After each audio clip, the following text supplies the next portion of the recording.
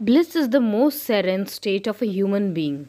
It is characterized by feelings of delight and contentment, with hope in the heart and a smile on the face. It is the ultimate positive emotion. Now, the question is Are you in a blissful state right now? If not, move towards it because this is the one of the main purposes of life man's constant search for happiness. Certainly, everybody wants freedom from sorrow and attainment of happiness. Everybody is restless for the attainment of happiness. They make continuous efforts to find it. A human being's every action revolves around this goal, and it is the center of attraction for all. Know that happiness or bliss is neither in the past nor in the future. The joy that you are searching in present in the very moment you are living now. Happiness is also not found just by searching, rather, it is found by losing oneself and merging with the Supreme Soul, God.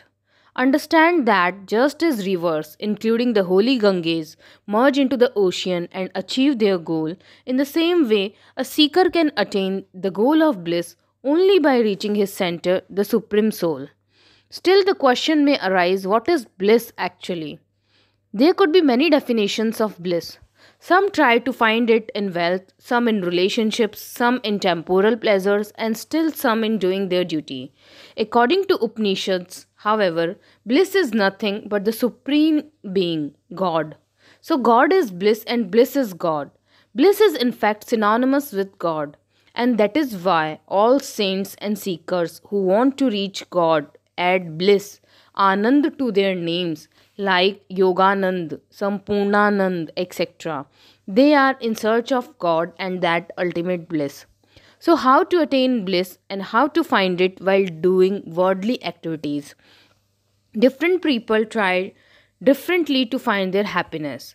Some think let's build a home and search for happiness, while some think let's make strong relationships to find it. Some people go to temples, some to mountains, while some on holidays in foreign countries. All are in search of bliss. Yet the question remains what is real bliss and how to find it? Where is bliss? A lot of people think if I achieve certain things in life, I will be happy. This notion is partially true and not absolutely true. Material things will only bring temporary joy but not permanent happiness. And also know one thing your bliss is dependent just on you and not on others. Therefore, if you are looking for happiness outwards, then it is in vain and you can never attain happiness. Happiness is not dependent on your relationships. Happiness is an inside job dependent just on you, on your efforts towards realizing God. So, to attain bliss, try not to just search for God outside, but immerse yourself in the remembrance of God, dissolve yourself, and let His grace take over. Bliss is in God realization. When you will sit calmly with a focus on your inner peace and God, your bliss will find you. You just need to bring stillness to your inner world. Your inner peace and God's realization cannot enter you until you vacate the space which is filled with ego and various disturbances. Your ego undoubtedly is the biggest hindrance in the way of your happiness. That is the reason you bow your head when you visit temples. Bowing means you are humble, free from ego, and so you are ready to realize God's presence. At places of worship, humbleness is within you, and so you are in the state of peace and bliss.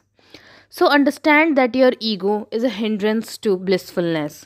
Try to get away from it through meditation, compassion towards the needy, prayers, and worship. When you do so, you will be envel- enveloped by blissfulness without any effort. Therefore, keep in your mind that you are far more peaceful and powerful than your ego.